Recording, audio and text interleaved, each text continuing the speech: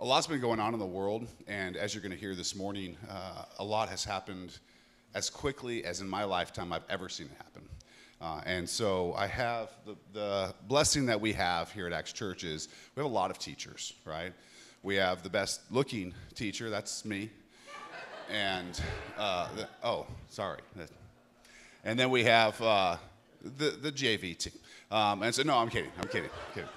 Actually, we have teachers who have been doing it decades longer than me um, and have moved out of the way only to let some of the younger folks like myself uh, get their shot. But we have two men in the church who have spent absolutely, between the two of them, I would guess 50, 60, 70 years worth of uh, time. I mean, honestly, probably the last, probably 40 years each, studying uh, what we call eschatology, which is end times. Um, the prophecies in Scripture, the book of Revelation, Ezekiel, Daniel, these different places where we hear about what's going to happen at the end. Uh, and these are things that get revealed over time, and they have put a lot of study and time and effort into it. And you have the benefit at, in this church of being able to hear from these men this morning um, who are going to kind of put a framework and put in perspective for you some of the things that have happened recently and some of the things you should expect to see. Because as believers, one of the duties that we have as elders and pastors at this church is to teach well about what the scripture says. And when the scripture starts literally happening in front of us, you need to know, or else you just be afraid. Because uh, there's a lot of things people are afraid of right now, but you don't need to be afraid because there's a framework for all the things that are going on right now that, while is a tragedy because it's the beginning of sorrows for many people, as you've seen if you've watched the news, it's also an, a huge, exciting blessing for those of us who are in the Lord and who probably will be with Him soon. Uh, many of us without having to taste death, probably. So um, that's all I'm going to give you for right this second. I'm going to invite Pastor Dave, uh, Pastor Dr. Dave Robinson, and Dr. Dr. Dave Robinson up. Yeah, give them a hand. You're going to have to hold it for a while. They're slower than me. It takes them a minute. And we're going to let them uh, just bless us this morning with, you got that? All right. Um, so let's listen to them when we're done. We'll, uh, we'll take communion together. And if you have questions, I just want you to know that um, they, there's an entire, we have, I believe, 53 sessions online on the app. Right there on the front page, it says End Times Prophecy Session. I think there's like 53 sessions of End Times Prophecy um, teaching going through the entire Bible that Dr. David, Pastor Dave, and Scott Robertson have, have done for us. And so after this is over, if you want to know more, you've got, you know, 100 hours of stuff there that you can do. So that's like a week's worth of Netflix for you all. Um, you, can, you can handle. So let's welcome Pastor Dave and Dr. David, and let's hear what they have to say.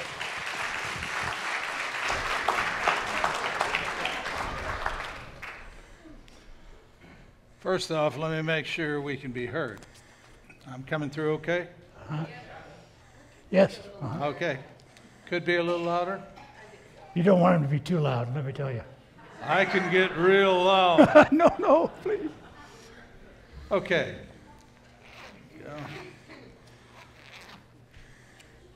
As Pastor David mentioned, uh, we've been spending, my good brother David and I, uh, over a year now exploring biblical prophecy. And that was because there was an interest amongst uh, a group of people in the church. So we organized that, and that launched last year, way back when. We've been having Zoom sessions uh, ever since. Frankly, uh, that's probably the best way for us to meet with this because it's highly content driven and it saves people having to jump in their cars and run around and everything else. It would probably cut attendance by over 50% if they had to drive to some place. Uh, it's been successful, though, I would say, David. Far beyond what I ever thought, that's for sure. I thought we'd do it like in six weeks. we forget that, right? I'm telling you. Of course, yeah. somebody's a long His talker. end time was not long enough. Okay, so what we're going to be doing this morning, uh, you're all well aware of the fact that uh, over the last two weeks, in a day or so, the world has changed. Uh, as a historian, as a student of international relations, Uh, I've done a lot of work in this area formally and over the years in teaching. There has been no change in the world's framework as significant as this since World War II. None. And I want to emphasize the fact, and David and I have talked about this at some length, it has happened overnight. Yes. Two and a half weeks ago, things were as they had been ever since the Soviet Union fell. The West assumed that, okay, the boogeyman's gone, globalization under Bill Clinton and others moved ahead, the United States was the only superpower, uh, which remains true, by the way. Um, and more and more it was global terrorism and 9 11 and going after terrorist groups. And the days of worrying about Russia was, they were in the rearview mirror. China was its own kettle of fish, of course. Um, and we kept an eye on the Chinese, but the world seemed to lose the intense focus that it had had during the Cold War years, which ran from roughly 1945 until 1991. In two weeks, that's all changed. And I mean, it is all changed. Those of you who are younger will not remember the world as it then was. The structures, the paradigms, the interpretive frameworks. I studied under Dr. Joseph Ha at Lewis and Clark College, who himself had studied directly as a doctoral student under Henry Kissinger. And I took every course from him that I could in international relations. We had a great relationship ourselves. He would have been startled and stunned at what happened in the last two weeks. Uh, There, literally, those who have delved deeply into this, they don't have any parallels. It's never happened this way. And so we need to, we need to be thinking in terms of what's happened, because it's really happened, and what are the possible prophetic connections that we have? Because the closer we get to the end, I will tell you, history is self authenticating in terms of prophecy. Quite often, we learn the significance of biblical prophecy as we move into the period in which it's going to be executed. Remember that biblical prophecy is really the divine decrees of God. Absolutely. This is when we speak of plan, you hear the God's plans and so forth. These are really, we'll go beyond that. These are his appointed sovereign decrees which shall not be resisted. The things that the Lord said, these will be, will be. I, you know, when I think of prophecy, I, I often think of a thousand piece puzzle, and you don't have the picture of what it looks like. So what do you do? You, you start putting it together. You, you do the edge pieces first normally. Then you start filling it in and you start guessing, what does this look like? But then as more pieces get in there, you start, the picture starts to emerge. And, and prophecy has been, we've been receiving these pieces. And there's been all kinds of conjecture, all kinds of ideas. Well, I think maybe that's a fountain. Oh, I think maybe that's whatever. But as the pieces come together, you start to see the picture that God has for us. And that's what, it, that's what he's talking about when he says prophecy is fulfilled in its time. And before that, all you can do is guess. And there's been a lot, a lot of wrong guesses. So uh, that's just, just a little explanation that people for early church believed in a literal interpretation of the prophecies, just as the ones were for Jesus. He would be born in Bethlehem. All those prophecies were, were direct and, and fulfilled directly, as stated. They believed also that the prophecies returning of Christ were literal. But along about, well, it started a little earlier than that, but really there was a, uh, Augustine came along and said uh, it's nothing is literal. And that changed people's view on prophecy, and it's been a confusion ever since. But the literal, and that's what we're going to be talking about today, is the literal fulfillment of prophecy. What God says, God will do as He said it. And you're going to see this morning how that's taking place right out of Ezekiel 38 and 39. That's an essential point. There are many different schools of prophecy, biblical prophecy, and one can get highly confused. Matter of fact, the more research you do, quite often the more confused you become because there are so many dueling points of view within the church. But this is a fundamental point. This is the foundation upon which all proper understanding of the scriptures is based. Mm-hmm. No prophecy is by any interpretation, private interpretation, say the scriptures. That the word of God is to be in- interpreted literally. That the word knows how to use words. Uh, he knows how to make things clear to us.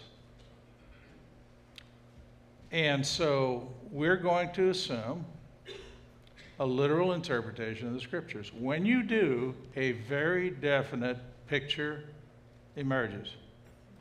It's not unclear, fuzzy, or even chaotic the way that other interpretations of scripture based upon biblical symbolism or a non literal interpretation of the scriptures. Uh, it is based upon delving into the Word, reading the Word, studying the Word, and doing so continually, as the Scriptures say in Deuteronomy 6. You know, from the time you get up in the morning till the time you go to bed at night, and in between in all the places, consider the Word of the Lord. It should be constantly. As a matter of fact, I, I think that if you do things properly, the boundary between study and meditation and prayer goes away. They are, they become the same thing. You'll find yourself moving from one to the other and back and back and back and forth and back and forth. So, enough said on that. As you reflect and meditate on the Word, as you bring the Lord in, uh, the Word into you, you will become the Word. You will live it out. People will see it in you, the sweet aroma of Christ. That's our, that's our assumption. We're sticking by it, we ain't changing. Okay, so what we want to do today is we want to take a look at what is now sort of commonly referred to as the Ezekiel War. Yes. This is something that has been discussed. Uh, I've actually been studying the prophetic scriptures as a historian, Christian historian, 45 years plus now. I was teaching this all the time. The nice thing about teaching history in a Christian high school is you get to constantly develop. You're constantly in it, sharing it. Every time you share it, of course, the teacher always learns more than anybody in the room. Um, so I've been through this dozens and dozens and dozens and dozens and dozens of time, and I've never left it. Um, it was the reading of a book on biblical prophecy that brought me to Christ. So, there is a particular passage in the scriptures you need to be intensely aware of if you're not already. It's Ezekiel 38 and 39.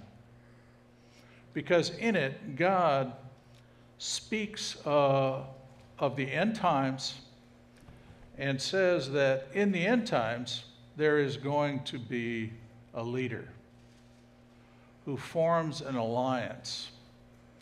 And the members of that alliance are specifically listed. And that he is going to conceive a wicked thought. David, maybe you'd care to comment on this wicked This, leader. this, this prophecy in Ezekiel 38 and 39 has been misunderstood so long, it's unbelievable. But it's clear, it becomes extremely clear today to in just about anybody who'll just take a moment to look at it. It is so specific to the current situation, it's unbelievable. A man from the north called Gog will come from the north and come on down.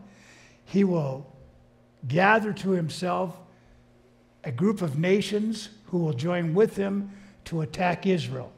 That is the Ezekiel war. the first part of that is clearing and making a way, a pathway down into Israel, which is being done presently as we speak. That's being done. As you read Ezekiel 38 and 39 with this understanding, you, are just kind of blown away. Uh, Therefore, Son of Man, prophesy and say to Gog, Thus says the Lord God, on that day when my people in Israel dwell safely, you will know it. Israel is probably one of the strongest, I would say the strongest military might in the Middle East. They export weapons. That tells you how many weapons they have. They're dwelling safely right now, although they've had multiple attempts to destroy that. It doesn't happen. They're dwelling safely.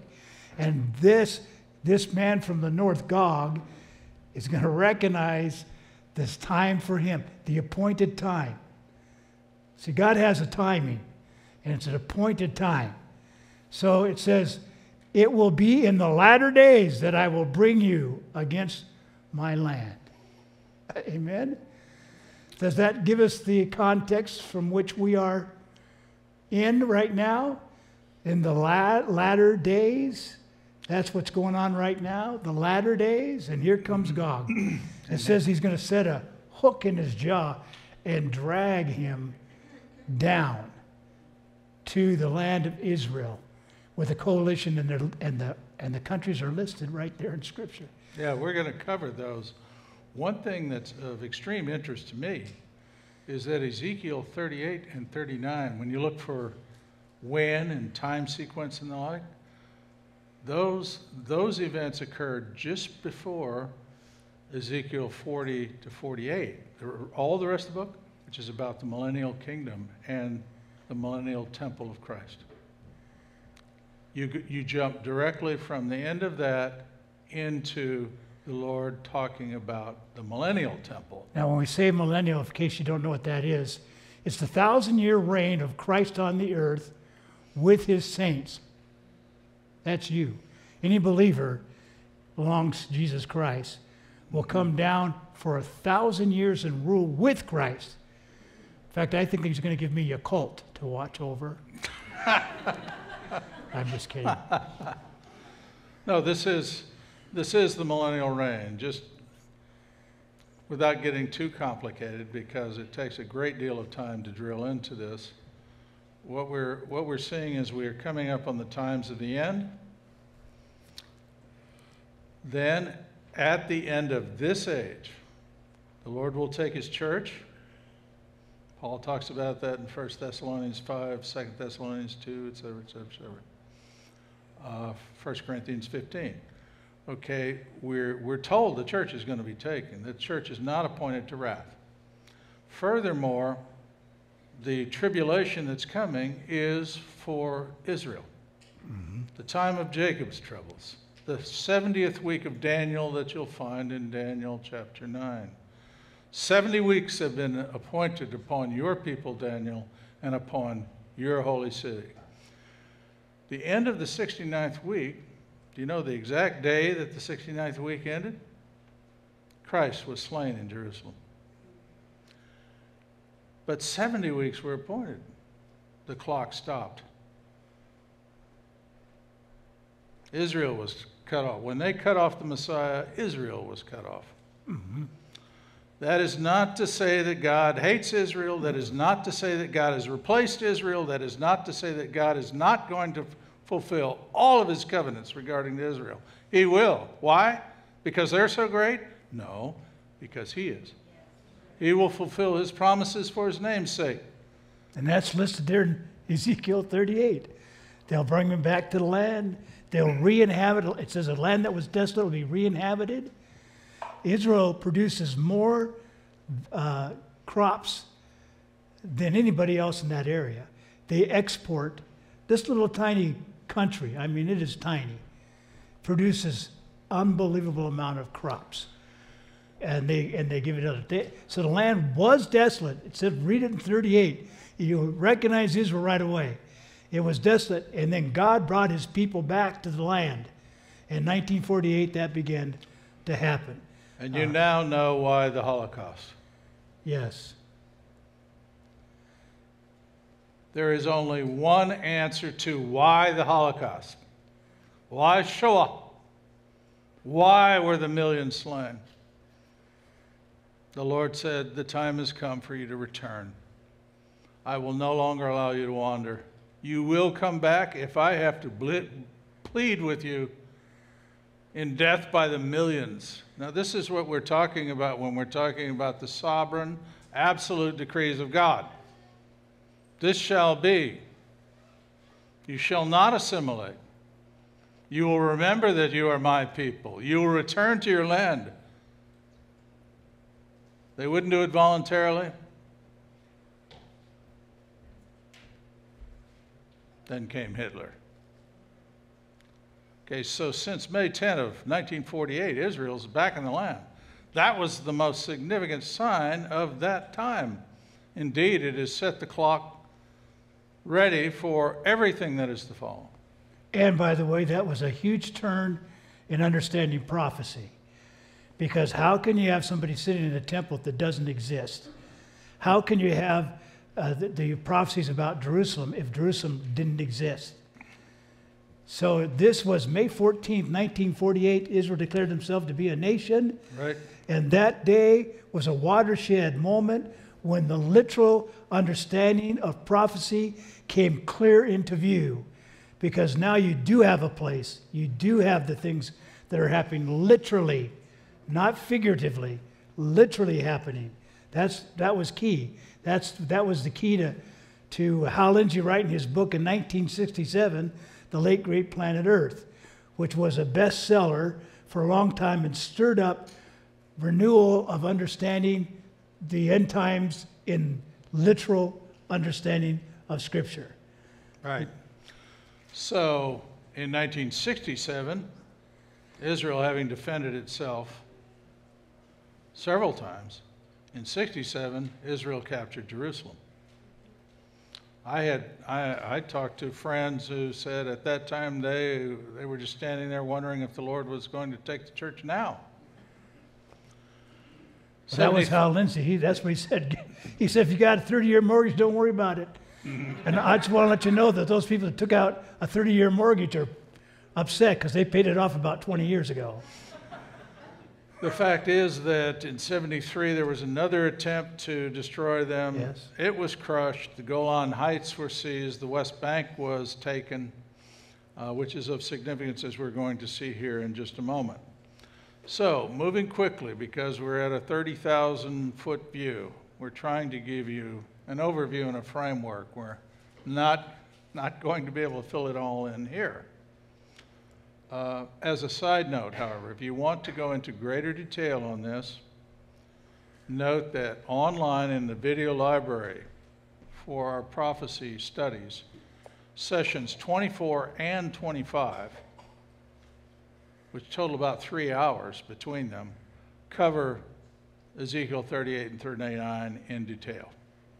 So just go online, sessions 24 and 25, dig in. Let me give you the We'll talk about this high view on who's involved. First Yes. off, there's a cast of the enemies of Israel. Okay. Here's the cast of the enemies. Okay, this is underneath Gog.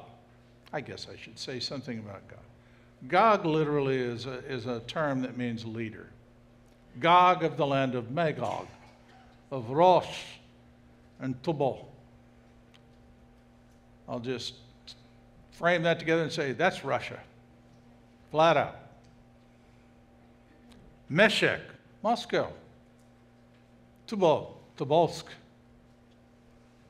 Armenia, Russia. It's, it's just a gigantic reference. And the Lord also refers to it as the uttermost parts of the north. Take a map look at Jerusalem, go north. What do you find to the uttermost parts of the north? Russia. Period. There can be no doubt.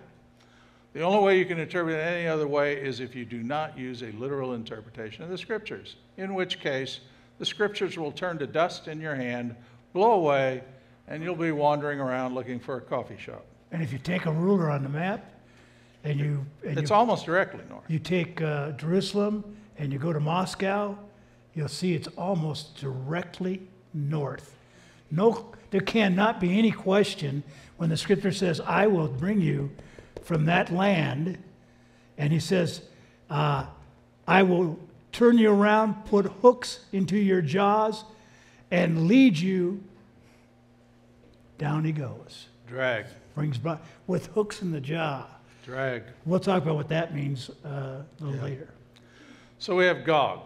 We're going to come back to Gog in a moment. It is a human being. That is not the land of Magog. Is this described? It's listing Russia. Yeah, the word of the Lord came to me saying, Son of man, set your face against the prince of Rosh.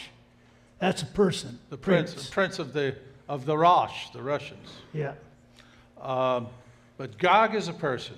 Magog, Rosh, those those describe a national extent or empire.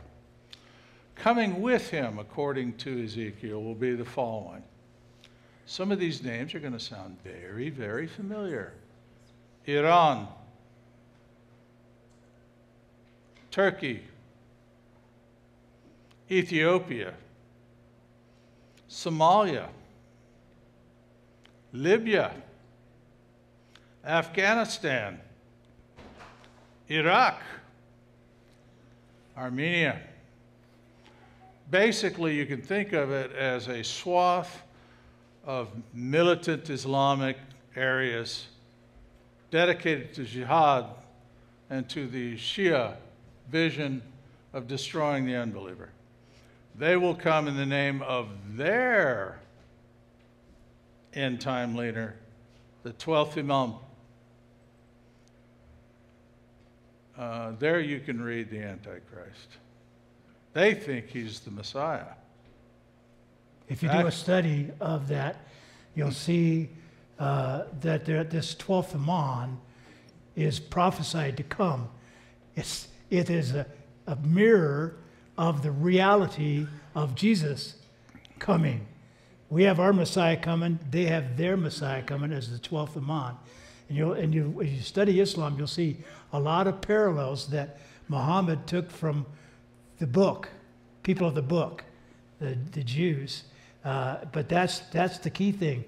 It's a, it's a false one of, of Christ. It's a type of antichrist, in a sense. Not the antichrist, but a type of Christ. Well, we have to remember, too, that the Antichrist will come with the false prophet. Yes. So there's a false prophet there kicking around as well. Um,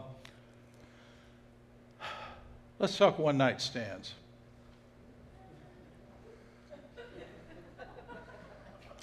That got their attention. That's it. It got my attention too. Who knew? On one hand, we have Gog, the land of Rosh. He has his own plans. What we're seeing right now is he's executing a plan, a vision.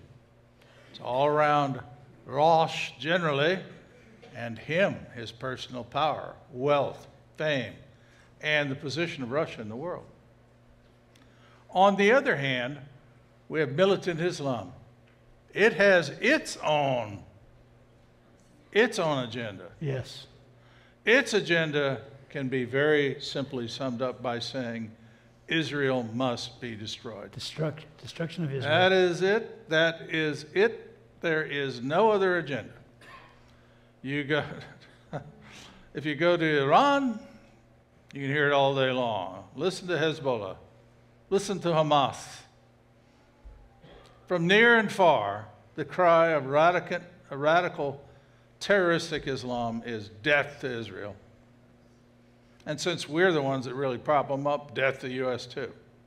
yeah. And your sister's ugly too.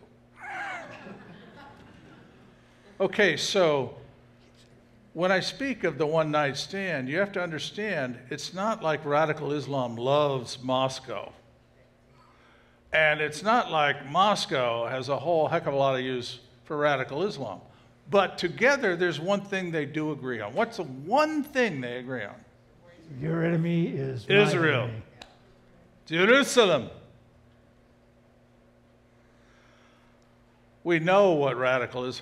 Radical Islam just hates them. And what does God say? I will curse them that curse you. Yes. The curse is on them. You will never come and hear me speak where you won't hear hard truth when that's what the Lord says. My curse is upon them. So, what he is saying in 38 and 39 is there's going to be an alliance led by Russia because, second only to the United States, who's got the power? Russia. Russia's got the power. Um, And you see, here's the interesting thing. What's the world calling uh, Putin? A mad man. He, he's not acting correctly. Think of, the, think of the hooks in the jaw. He's going against resistance that most time they would just give up. But he, had, he is so uh, into this thing. He's, as, as they say in Hold'em, he went all in. He's all in, and the hooks in his jaw are driving him in a mad almost way, according to the rest of the world. They can't believe this guy's doing what he's doing. Putin is changing. He has changed. Yeah. If you watch videos over the past handful of years, there was an earlier Putin. No, this is the last days Putin. And his heart is hardened. He has said, This I will do, not knowing that the Lord is saying to him, You are one of the wicked created for the day of destruction. Mm-hmm. I will drag you mm-hmm. to the place of destruction. I will annihilate you, O Gog, Yes. and all of your army. Yes. We're going to come to that. Now, there's an opposing cast. Interestingly enough, in that same passage, and we're going to save you some time here, but you can drill back down in uh, sessions 24 and 25 for the details. Scriptures also mention that there are a group of nations who oppose this, who say, wait, aren't, aren't you invading the mountains of Israel? And stop. The mountains of Israel. God again and again says, You'll invade the mountains of Israel. The mountains of Israel. The mountains of What is that? I'll save you a lot of time. It's the West Bank. The mountains of Israel are on the West Bank. That disputed ground. Mm-hmm. Now, the UN says that ground belongs to the Palestinians Palestinians. in a two state solution. Israel says, ooh. no, no, no, no, that is our land. And by the way, it's strategic. Uh, you know, when we went over to Israel, we were standing up there on those mountains, they said, it is important that Israel have this property because it is a place where they have the high view. You can't, nobody can come without you seeing them. And so it's a very, very strategic It's a place. It's a barrier. It's a barrier. Well, you see, there's a group of nations. Not exactly. Well, in Ezekiel 38, the Lord says that Gog is going to strike suddenly with all of his armies and affiliated nations in a blitzkrieg on the West Bank. Yep, He's going to seek to take the mountains of Israel. yep. And I mean, take it now. Blitzkrieg, lightning war. More on that in a moment. The fact is that. Getting exciting, isn't it? there is an opposing cast. The, the scriptures mention specifically that there is a land, a place called Tarshish with its young growling lions that oppose this. Tarshish. Well, again, go back to sessions 24 and 25. You'll find out why, because we, we lay it out for you. I'll cut to the chase, though, and say Tarshish actually was located in England. Tarshish was the farthest place in the world you could go from Israel. Nobody knew any place further than that. As a matter of fact, that's where Jonah booked a ticket to when he was trying to flee from God. He bought a ticket on a ship to Tarshish. The Furthest spot he could get away from. I, you know, there's no further spot. Well, Tarshish and its growling lions. And it also mentions uh, the land of Dedan. Come back to the growling lions. Dead? Saudi Arabia. The Saudis say, whoa, as they've been saying all along. They're basically Sunni. They're Shiite and Sunni. Sunni are the far more peaceful Muslims that, that are majority. But the Shiite are the militant and uh, extremist. And of course, you hear more about the, what they're doing because the others are not doing anything except trying to cause peace. So, It's interesting that Tarshish has what God calls its growling lions, the children of Tarshish. That's a very interesting, because if you look at England, it actually is a commonwealth of 54 nations, some large and powerful, some small, very small. But the king of the growling lions of Tarshish you're sitting in it right now. The United States is the king of the growling lions of Tarshish. It was descended directly from England, came directly from England, is the number one superpower on the world, came from Tarshish, and a people of many peoples living on many waters with extraordinary resources extraordinary wealth. No other nation has been wealthier, more powerful in the history of the world than this one, period. Mm-hmm. It is still, it is the only superpower in the world. Russia is a poor, pathetic, way distant, parsecs away, second place. So,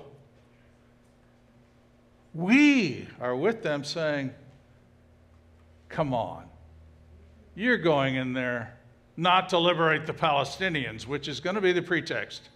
We're here to free the Palestinian people. about a week and a half ago, did you hear what Putin said?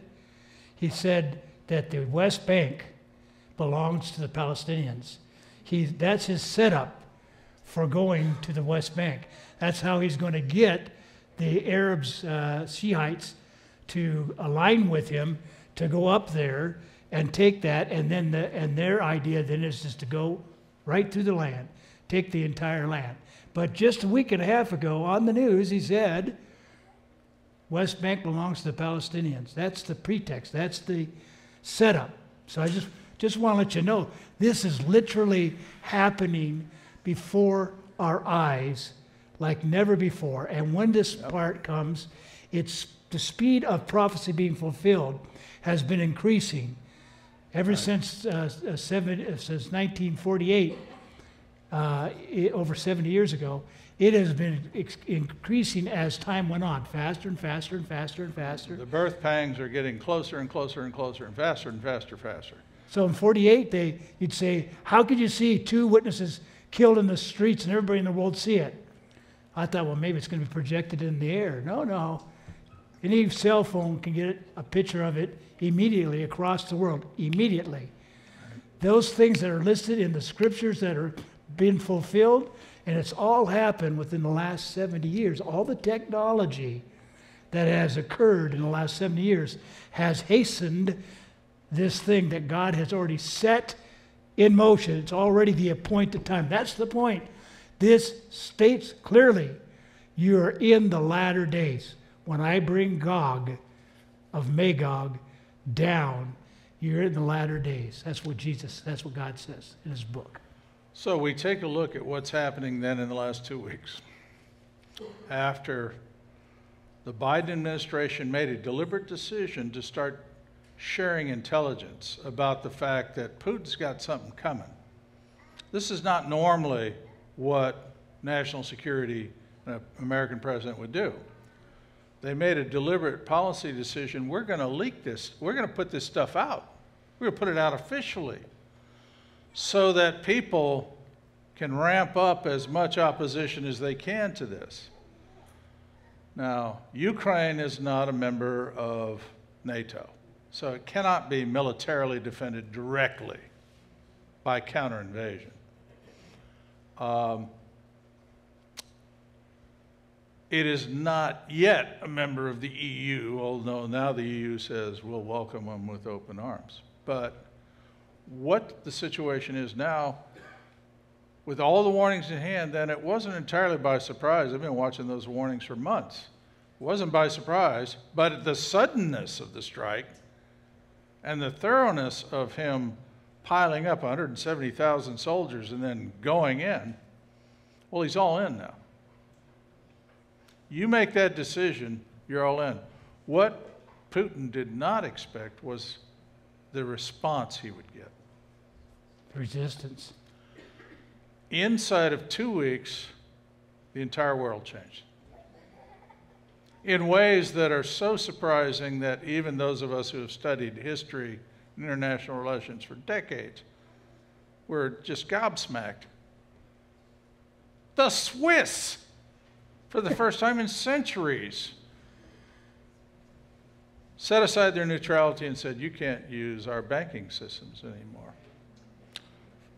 flying zones, currency cutoffs, banking cutoffs, seize goods everywhere. What, what, everything you've been reading about is a humiliation to Putin.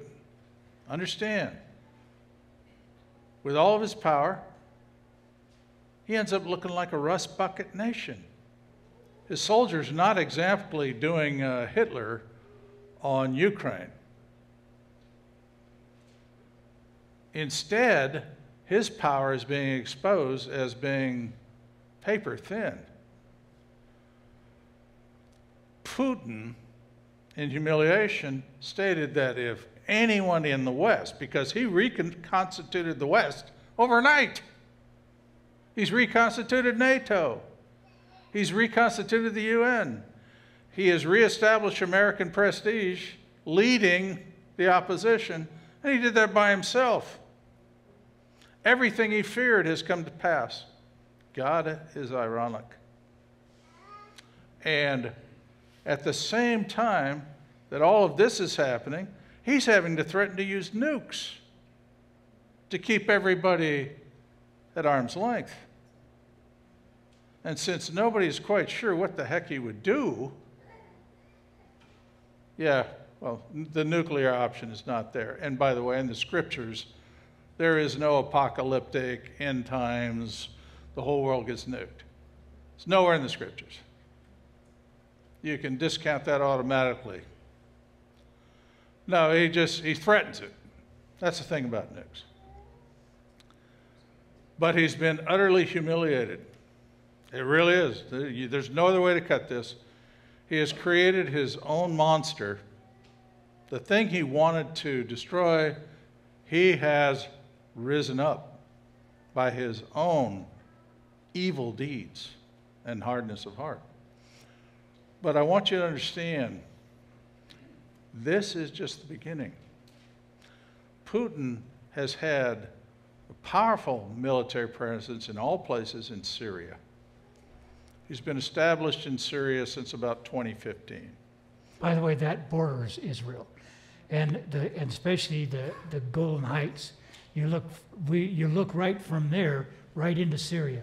Now, he, is, he has literally been camped on Israel's doorstep since 2015. Yeah. He has bomber groups in there, he has fighter groups in there, he has armored groups in there. He's already pre staged for an invasion. Several months back, they showed him visiting Syria, and they took him to the what, what I would call the war room.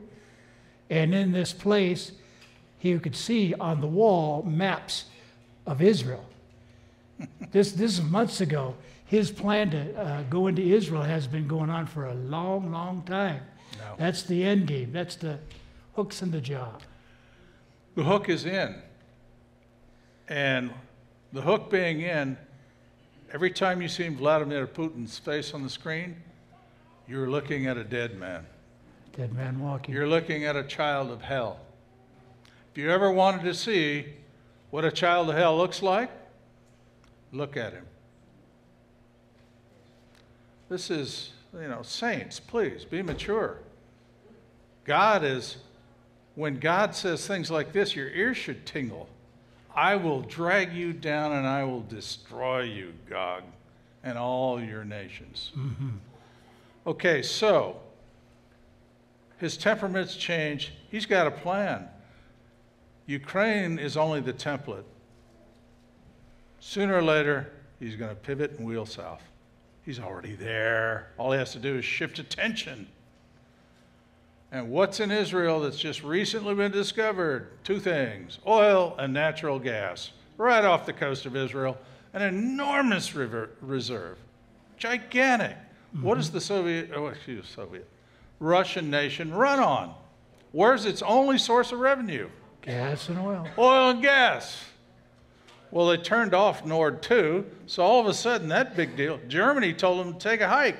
Germany has reemerged. For the first time in 70 years, Germany is shipping, it's exporting weapons to Ukraine. It has not done that since World War II. Don't miss any of this, folks. It is right in your face. In Ezekiel 38 and 39, God said, just before I talk about millennial temple, let me talk to you about Gog, Magog, and his nations. You see, one important thing to understand is Gog is a pre-runner to the setup for the Antichrist. Because when he comes against Israel and God destroys them, after that the Antichrist comes up and says, I will protect you, Israel. I will sign a peace treaty with you for seven years. Yes, but how could he have done that? If you've, you're familiar with those passages, for decades I wondered, how does the Antichrist simply waltz in and say, hey, here's a covenant for seven years, which, by the way, is the 70th week of Daniel? Yes. A seven year covenant, peace treaty, peace for all, everybody go out and have a drink, because now Israel can do what it wants to, including rebuilding its temple on the Temple Mount. My reaction as a historian was, where the heck are the militant Islamists? Are you crazy? You've got, you've got millions and millions and millions of people that'll fall out of their tree, pick up whatever is next to them, a stick or a gun, and go march on Israel. That's Yeah. just, and they're right there. They're right there. Aha. Aha. God has a plan. There when they is- came back from Babylon, they said, We need to purge the land and get rid of every foreign god. And if you have foreign wives, you're to send them away. And we're to clean the land. And what's going to happen is, and it's, there, uh, do you remember that scripture where, that, about that God's going to force out even evil spirits yeah, out, of, the land? Zechariah 11, that when the Lord rules, two things are going to be driven out of the land as he rules in Jerusalem. Two very, and it's an interesting pairing. Demons. The Lord is going to drive the demons back. None will be tolerated. The, the evil spirits of wickedness are driven out where they wander the land homeless someplace else Right. but not there. The other thing, prophets. The prophet. When the Lord is sitting in Jerusalem, there are no more prophets. It's going to become a non-profit nation. I'm You sorry. stole I, that. I, I borrowed that from David when we were talking yesterday. Borrowed. That's my intellectual property. Uh, asterisk from Dr. David. Well, let me hit one other thing here because, again, uh, we're low on time, but I want to make sure. From the 30,000 foot level, what happens is there's a sudden blitzkrieg of the West Bank, the mountains of Israel. Gog with all of the nations and peoples that are listed with him. So essentially, it's the power of Russia and the power of militant Islam are going to suddenly strike in a coordinated operation, a blitzkrieg, in the mountains of Israel. According to this passage, Israel has to flee. Israel has nukes, but it doesn't have that many nukes.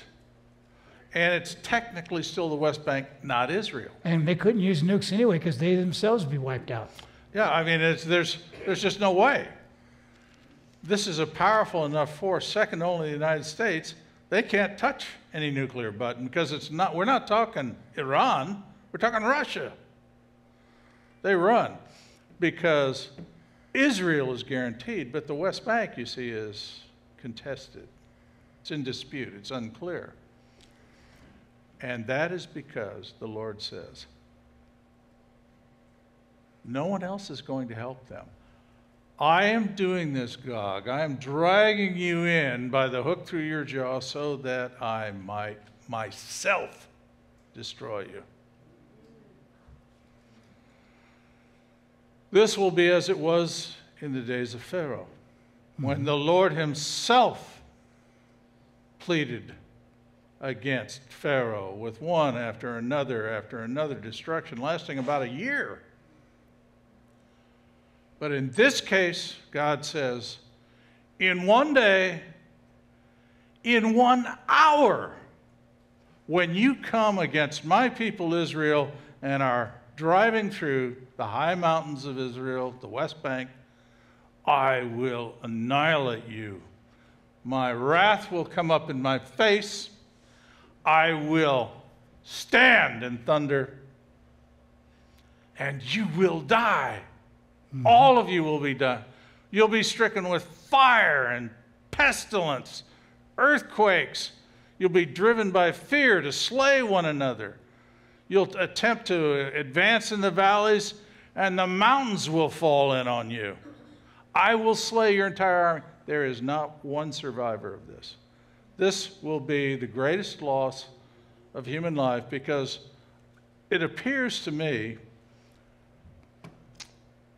the total hordes of the armies will number in the hundreds and hundreds and hundreds of thousands. They will be slayed within an hour, all gone, all dead. God says to the carrion birds of heaven, Come and feast. Paul writes in 1 Corinthians, the Jews require a sign. Remember, they're always asking Jesus for a sign, a sign, a sign, a sign. When God does this, He says, My people will know who did this. They will know it's me and they will turn to me. There's going to be a great revival in The- Israel. The whole world is going to know Well, yeah, the whole world. There is no, there's no rational explanation for what happens. An army of hundreds of thousands, perhaps approaching a million, is simply annihilated in one hour. Yeah, that's As right. a matter of fact, in 39 of Ezekiel, Ezekiel says, There will be so many dead that the entire population of Israel will be occupied for seven months just locating and burying the bodies.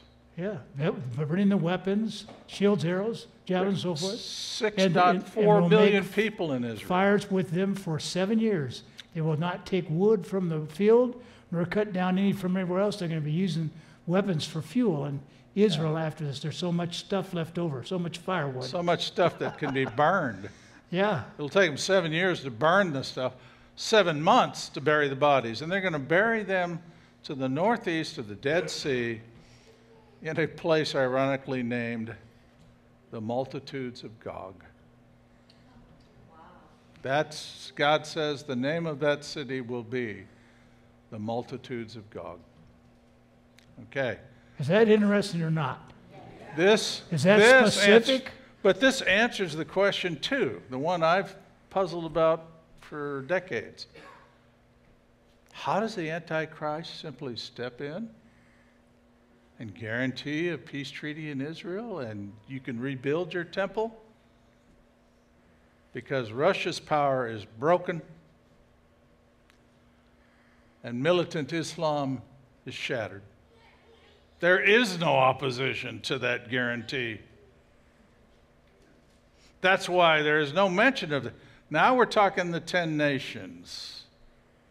Now we're talking the church taken and the Antichrist appears. And I got a great deal for Jerusalem. Such a deal. the false prophet proclaiming it. So, this is the very, this is from a very high level, strategic picture. Anytime you see uh, this, if it's not Putin, I have no idea who it would be. There's nobody else but Putin in Russia. Nobody. He's 70 years old. Seven. He's 70 years old. He doesn't have forever. What an interesting age.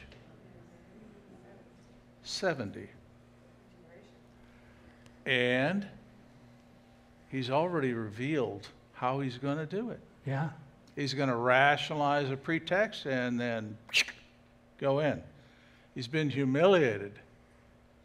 Why? Because God is dragging him. A hook through the jaws is irresistible. That's why he won't quit. He's being dragged. No, he's not dragged. going. Matter of fact, he's not going to quit in Ukraine. He's just going to keep piling on like the Russian bear always does. But then he's going to wheel and go south. Okay? Yeah. That's where we are right now. Yep. Keep an eye on. This is one of those times where watching the news every night is actually very interesting. It'll be more interesting now that you got this framework to work within, to understand this isn't by chance, folks. This is by God's plan. By the way, everything's by God's plan, if you want to know the truth. It all, it's all under God's auspice, it's all under His power, it's all under His guidance.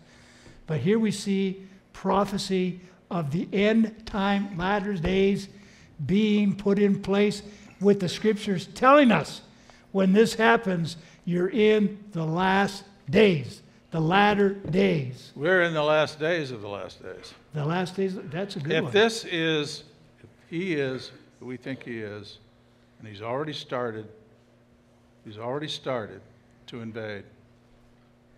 So let me just say this in, in our closing up here. If you haven't asked Jesus Christ to be your personal Savior, to forgive you for everything you've done wrong in your life, and you haven't been cleansed and cleaned and purified by Him, don't wait any longer. Number two, if you have friends and family, it's no longer being patient in trying to reach them. Now is the time to be bold in the Lord and to speak the truth in love, in love, and bring them to Jesus Christ because the fields, according to Jesus, are white unto harvest. There's lots and lots of people who need to know Jesus Christ. This ought to stir you to recognize the time is short. You need to accept Jesus Christ as your personal Savior and make sure it's real. Make sure you know that you belong to Him. And there's some information in 1 John chapter 2 that'll help you with that. And if you know people need the Lord, please pray and do. Don't just pray. Moses standing at, at the Red Sea and, and he's praying, and God says, Stop praying and get moving. You know, you prayed long enough, uh, you need to start moving. Here comes David.